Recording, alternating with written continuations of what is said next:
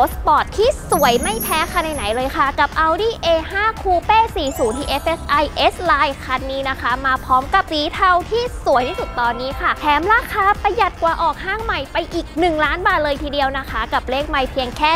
11,000 กิโลเมตรเท่านั้น คันนี้มาพร้อมกับสีเทาเดโ t นาเกรสุดสวยด้วยนะคะ ตอนนี้สีเทาเฉดนี้กำลังฮิตเลยค่ะ และความหล่อของคันนี้ที่หล่อแล้วก็เด่นสะดุดตามากๆก็คือนี่เลยค่ะ ตัวโลโก้ Audi ของเขานะคะเป็นสีดำ High Gloss Black ค่ะ บ่งบอกถึงความสปอร์ตแล้วก็ความดุมากๆเลยนะคะ รวมถึงตัวนี้เลยค่ะ ขอบในส่วนของตัวไฟ daylight ทั้งหมดนะคะ ก็เป็นสีดำหูกระจกมองข้างก็เป็นสีดำนะคะ เป็นตัว Black Series ตัวท็อปที่สวยมากๆด้วยค่ะ มาพร้อมกับไฟหน้า Matrix LED ค่ะ ตัวไฟ Audi เด่นสะดุดตามาก ๆ เลยนะคะ มีโลโก้อยู่ด้านในด้วย ระบบไฟของเขาก็เป็นระบบอัจฉริยะเช่นกันค่ะ คันนี้นะคะล้อมาด้วยกันถึง 19 นิ้วค่ะ ลวดลายของเขานะคะจะเป็นลาย Parallel Spoke ขนาด 5 ก้านคู่ค่ะ สวยมาก ๆ มีโลโก้ Audi อยู่ตรงกลางด้วยนะคะ และคันนี้ค่ะ มาพร้อมกับชุดแต่ง S Line นั่นเองค่ะ ตัว Top Option มีโลโก้ติดอยู่ที่ด้านข้างตัวรถให้เรียบร้อยแล้วค่ะตัวกระจกของเขานะคะก็จะเป็นแบบ frameless เลยค่ะ แล้วก็ตัวดีไซน์นะคะ ก็จะมีความสปอร์ตโฉ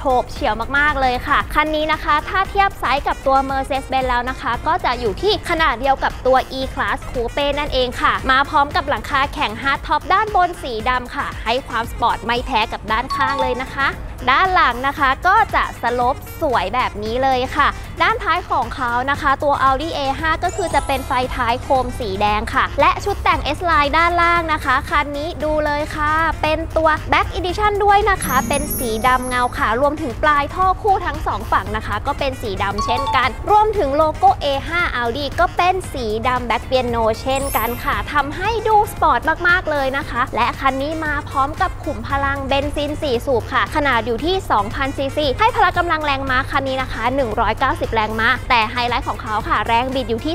320 นิวตันเลยทีเดียวนะคะ เป็นเกียร์อัตโนมัติ 7 speed ด้วยค่ะ ถือว่าอัตราเร่งดีมากๆสำหรับการเปิดฝาท้ายของ Audi นะคะ ก็คือกดเปิดไปที่ใต้โลโก้นี้เลยค่ะ หรือว่าใครจะกดผ่านรีโมทนะคะ เขาก็จะมีตัวสัญลักษณ์รูปรถให้ค่ะ กดไป 2 ครั้งนะคะ ก็คือจะเปิดออโต้แบบนี้เลยค่ะ ตัวด้านหลังเขามีน้ำหนักเบามากๆเลยนะคะทำให้ลดประหยัดน้ำมันด้วยค่ะ รวมถึงพื้นที่เก็บของนะคะ สังเกตดูเลยค่ะ รุ่นคูเป้แบบนี้ทำให้ช่วงท้ายของเขามีความลึกมาก ๆ เลยนะคะ ใครใช้อุปกรณ์ drive กอล์ฟหรือว่าตั้งแคมป์นะคะ เอาคันนี้ไปใช้ในชีวิตประจำวันได้เลยค่ะใครนะคะที่สนใจหรือว่ากำลังตามหา Audi อยู่นะคะ ต้องรีบสแกน QR code มาสอบถามเจ้าหน้าที่ฝ่ายขายได้นะคะ หรือว่าสนใจคันอื่นเพิ่มเติมนะคะ สามารถเข้าไปรับชมเพิ่มเติมได้ที่แคตตาล็อกออนไลน์ของเราค่ะ w w w b e n k e c o m เรามีสต็อกคันอื่นให้เลือกมากกว่าอีก 200 คันแบบจุใจเลยนะคะ ตัว body นะคะมีขนาดที่ใหญ่กว่ารถสปอร์ตทั่วไปค่ะทำให้การนั่งไม่ว่าจะเป็นผู้ขับขี่หรือผู้ที่นั่งด้านข้างนะคะ สบายมากๆเลยทีเดียวค่ะเบาะทรงสปอร์ตแน่นอนอยู่แล้วว่าจะมีปีกเบาะทางด้านบน แล้วก็ด้านตัวเบาะด้านล่างนี้ด้วยนะคะ และวัสดุภายในคันนี้เนียบมากๆเลยค่ะ ไม่ว่าจะเป็นคอนโซลด้านหน้านะคะ รวมถึงแอร์คันนี้นี่เลยค่ะ มีด้วยกันถึง 3 โซนเลยนะคะ โชว์ที่หน้าจอไว้แล้ว การปรับค่ะก็จะแยกการปรับทั้ง 3 โซนเลยนะคะ ด้านหน้า 2 โซนซ้ายขวาด้านหลังอีก 1 โซนค่ะ ปรับแบบดิจิตอลหมุนง่าย ๆ แบบนี้เลยนะคะ พร้อมฟังก์ชันการใช้งานก็คือมีมาให้ครบเลยค่ะ หน้าจอของเขานะคะ นี่เด่นสะดุดตามากๆ รวมถึงเป็นระบบ touchscreen ด้วยนะคะใช้งานง่ายมากๆเลยค่ะ ไม่ว่าจะเป็นการตั้งค่าตัวรถต่างๆนะคะ หรือว่าใช้ในส่วนของโหมด media นะคะ ก็เชื่อมต่อสมาร์ทโฟนได้ค่ะคันนี้มีกล้องถอยหลังด้วยนะคะ โชว์ที่หน้าจอนี้เช่นกัน รวมถึงคันนี้มีเซ็นเซอร์รอบคันด้วยนะคะ หมดกังวลเลยค่ะ เรื่องการถอยเข้าซอง หรือว่าขับด้านหน้า เขาทำงานควบคู่กับตัว Cruise Control ด้วยนะคะแดชบอร์ดคนขับเป็นดิจิตอลทั้งหมดแล้วค่ะ แต่ก็ยังคงความคลาสสิกอยู่นะคะ โชว์เป็นแบบตัวอนาล็อกให้เราดูค่ะ และสำหรับพวงมาลัยค่ะก็เป็น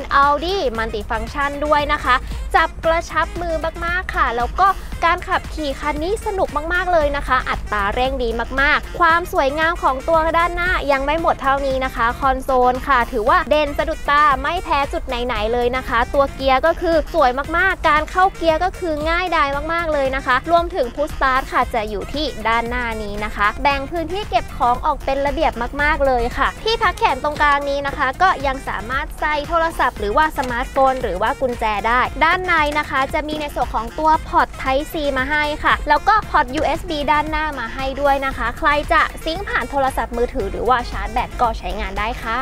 เบาะคู่หน้าเป็นแบบปรับไฟฟ้าค่ะ แล้วก็บันทึกตำแหน่งที่นั่งได้ 2 ที่นะคะ และเครื่องเสียงคันนี้เป็นระบบ Audi Audio นั่นเองค่ะ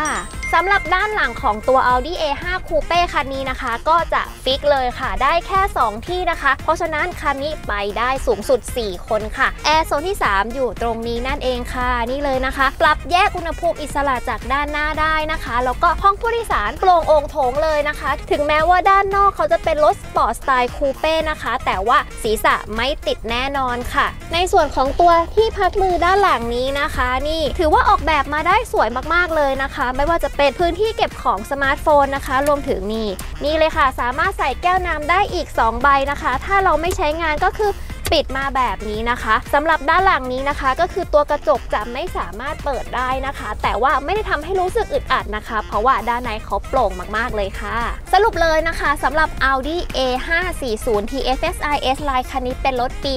2022 ค่ะ เลขไมล์วิ่งมาเพียงแค่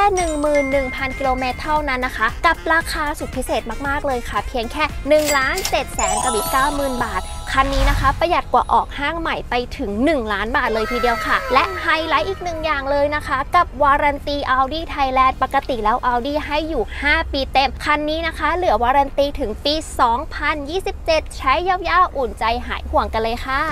หล่อเท่บาดใจในราคาประหยัดแบบนี้รอช้าไม่ได้แล้วนะคะแล้วก็อย่าลืมนะคะ มาที่เบนเคที่เดียวจบครบทุกความต้องการ วันนี้การ์ตูนต้องขอลาไปก่อน สวัสดีค่ะ